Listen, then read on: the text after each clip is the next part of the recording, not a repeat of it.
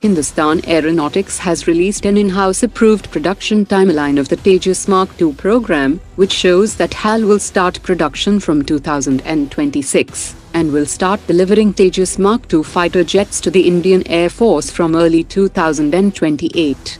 HAL will scale up production to 25 to 30 aircraft per year, and all 120 Tejas Mark II fighter jets will be delivered by 2031. The year 2031 is not only the deadline to deliver all 120 Tejas Mark II aircraft to Indian Air Force, but also to manufacture reserve panels and airframe components that are meant for storage, that can be used as a replacement for the in-service Tejas Mark II aircraft in case of any damages. The Indian Air Force chief had said recently that the Tejas Mark II will play a key role in plugging capability gaps, and more orders will be placed and more than 210 Tejas Mark II fighters will be ordered in the long term. With a potential deal for 100 Tejas lift variant to the Egyptian Air Force with local production line, the Indian Defence Minister has arrived in Egypt, and he held discussions with Egyptian Defence Minister, and will sign an agreement to expand defence and security cooperation.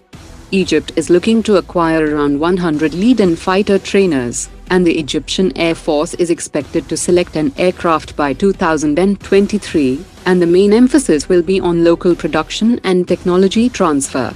Interestingly, South Korea has also started promotion of the FA-50 in Egypt, while China is offering its L-15 Falcon, and Italy's Leonardo has pitched its M346 for the contract.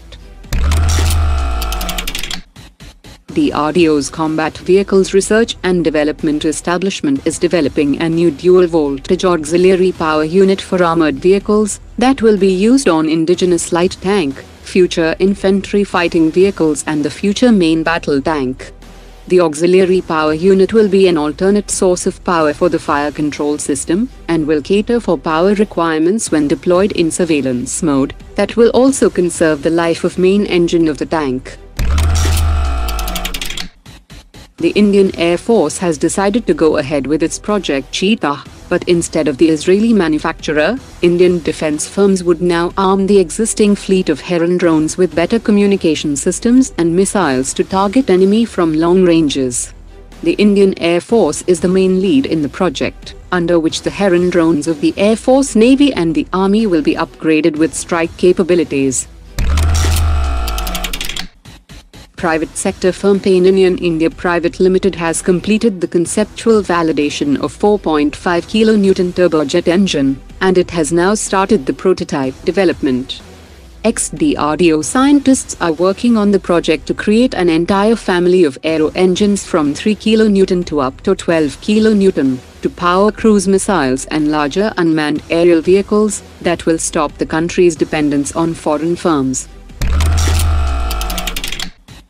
Instead of emergency procurement from foreign vendors, the Indian Army has invited the domestic defense industry to offer critical defense equipment for emergency procurement, and has shared request for proposals for guns, missiles, drones, counter-drone system, loitering munition, specialist vehicles and optical systems.